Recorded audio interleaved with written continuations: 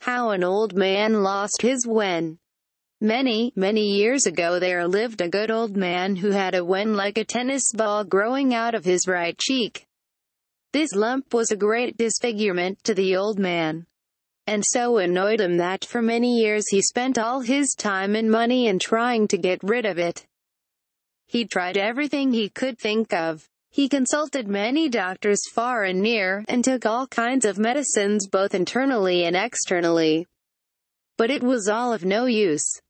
The lump only grew bigger and bigger till it was nearly as big as his face. And in despair he gave up all hopes of ever losing it, and resigned himself to the thought of having to carry the lump on his face all his life. One day the firewood gave out in his kitchen, so, as his wife wanted some at once, the old man took his axe and set out for the woods up among the hills not very far from his home. It was a fine day in the early autumn, and the old man enjoyed the fresh air and was in no hurry to get home.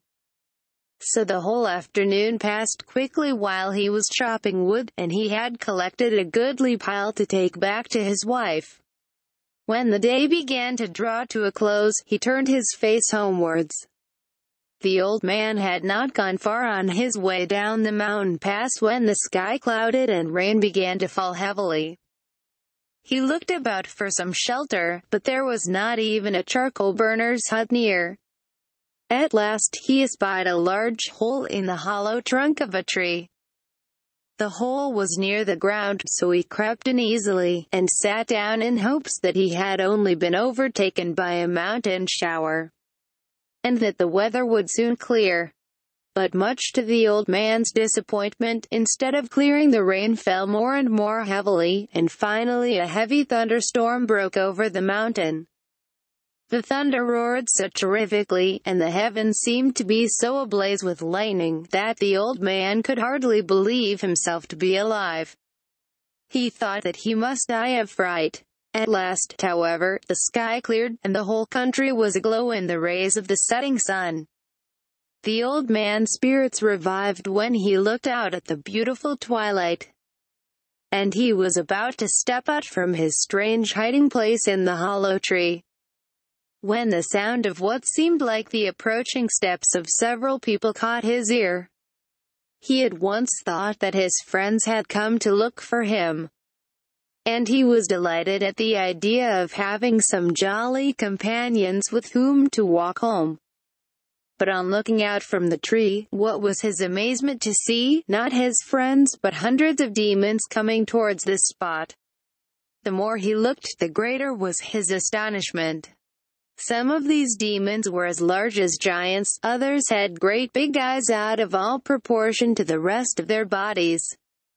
Others again had absurdly long noses, and some had such big mouths that they seemed to open from ear to ear. All had horns growing on their foreheads. The old man was so surprised at what he saw that he lost his balance and fell out of the hollow tree. Fortunately for him the demons did not see him, as the tree was in the background. So he picked himself up and crept back into the tree. While he was sitting there and wondering impatiently when he would be able to get home, he heard the sounds of gay music. And then some of the demons began to sing. What are these creatures doing? said the old man to himself. I will look out, it sounds very amusing. On peeping out the old man saw that the demon chief himself was actually sitting with his back against the tree in which he had taken refuge. And all the other demons were sitting round, some drinking and some dancing. Food and wine was spread before them on the ground, and the demons were evidently having a great entertainment and enjoying themselves immensely. It made the old man laugh to see their strange antics. How amusing this is, laughed the old man to himself. I am now quite old, but I have never seen anything so strange in all my life. He was so interested and excited in watching all that the demons were doing, that he forgot himself and stepped out of the tree and stood looking on. The demon chief was just taking a big cup of sake and watching one of the demons dancing. In a little while he said with a bored air, Your dance is rather monotonous. I am tired of watching it. Isn't there anyone amongst you all who can dance better than this fellow? Now the old man had been fond of dancing all his life and was quite an expert in the art. And he knew that he could do much better than the demon. Shall I go and dance before these demons and let them see what a human being can do? It may be dangerous for if I don't please them they may kill me, said the old fellow to himself. His fears, however, were soon overcome by his love of dancing. In a few minutes he could restrain himself no longer, and came out before the whole party of demons and began to dance at once. The old man, realizing that his life probably depended on whether he pleased these strange creatures or not, exerted his skill and wit to the utmost. The demons were at first very surprised to see a man so fearlessly taking part in their entertainment, and then their surprise soon gave place to admiration. How strange, exclaimed the horn chief. I never saw such a skillful dancer before. He dances admirably. When the old man had finished his dance, the big demon said, Thank you very much for your amusing dance. Now give us the pleasure of drinking a cup of wine with us, and with these words he handed him his largest wine cup. The old man thanked him very humbly. I did not expect such kindness from your lordship.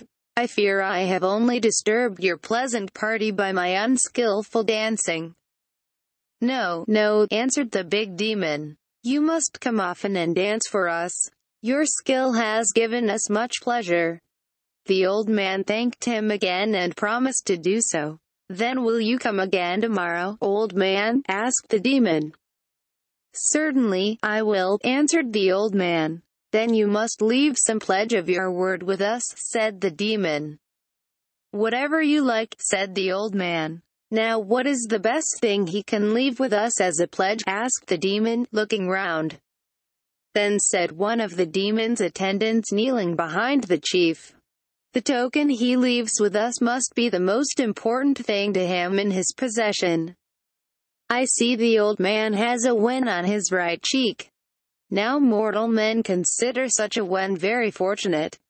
Let my lord take the lump from the old man's right cheek, and he will surely come tomorrow, if only to get that back.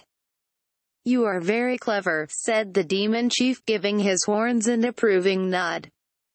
Then he stretched out a hairy arm and claw-like hand, and took the great lump from the old man's right cheek.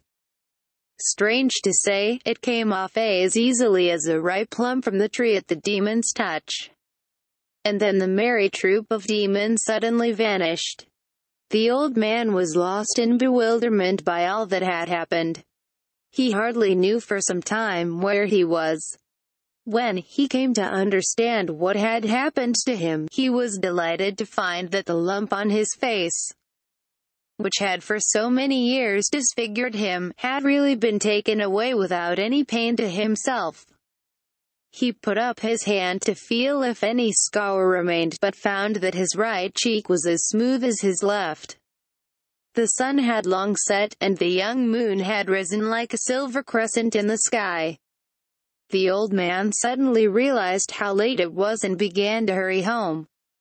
He patted his right cheek all the time, as if to make sure of his good fortune in having lost the wen.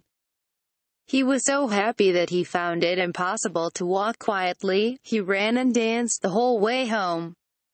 He found his wife very anxious wondering what had happened to make him so late. He soon told her all that had passed since he left home that afternoon. She was quite as happy as her husband when he showed her that the ugly lump had disappeared from his face for in her youth she had prided herself on his good looks, and it had been a daily grief to her to see the horrid growth. Now next door to this good old couple there lived a wicked and disagreeable old man. He, too, had for many years been troubled with the growth of a wen on his left cheek, and he, too, had tried all manner of things to get rid of it but in vain. He heard at once through the servant of his neighbor's good luck in losing the lump on his face. So he called that very evening and asked his friend to tell him everything that concerned the loss of it. The good old man told his disagreeable neighbor all that had happened to him. He described the place where he would find the hollow tree in which to hide, and advised him to be on the spot in the late afternoon towards the time of sunset. The old neighbor started out the very next afternoon, and after hunting about for some time, came to the hollow tree just as his friend had described. Here he hid himself and waited for the twilight. Just as he had been told, the band of demons came at that hour and held a feast with dance and song. When this had gone on for some time the chief of the demons looked around and said, It is now time for the old man to come as he promised us. Why doesn't he come? When the second old man heard these words he ran out of his hiding place in the tree and kneeling down before the Oni, said, I have been waiting for a long time for you to speak. Ah, you are the old man of yesterday, said the demon chief. Thank you for coming, you must dance for us soon. The old man now stood up and opened his fan and began to dance. But he had never learned to dance, and knew nothing about the necessary gestures and different positions. He thought that anything would please the demons, so he just hopped about waving his arms and stamping his feet, imitating as well as he could any dancing he had ever seen. The Oni were very dissatisfied at this exhibition, and said amongst themselves, how badly he dances today. Then to the old man the demon chief said, Your performance today is quite different from the dance of yesterday. We don't wish to see any more of such dancing. We will give you back the pledge you left with us. You must go away at once. With these words he took out from a fold of his dress the lump which he had taken from the face of the old man who had danced so well the day before and threw it at the right cheek of the old man who stood before him. The lump immediately attached itself to his cheek as firmly as if it had grown there always, and all attempts to pull it off were useless. The wicked old man, instead of losing the lump on his left cheek as he had hoped, found to his dismay that he had but added another to his right cheek in his attempt to get rid of the first. He put up first one hand and then the other to each side of his face to make sure if he were not dreaming a horrible nightmare. No, sure enough there was now a great wen on the right side of his face as on the left. The demons had all disappeared, and there was nothing for him to do but to return home. He was a pitiful sight, for his face, with the two large lumps, one on each side, looked just like a Japanese gourd.